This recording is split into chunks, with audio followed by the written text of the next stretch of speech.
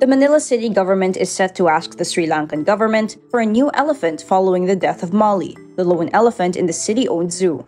Manila Mayor Honey Lacuna says Sri Lanka committed to give a new elephant during one of their visits. The city government plans to preserve the elephant's remains through taxidermy, which will be displayed in a museum later on. Over the years, Mali became a part of the childhood memories of many Filipinos who visited the country's capital zoo. But animal rights groups believed Mali suffered from profound loneliness after living most of her adult life without companions of the same species.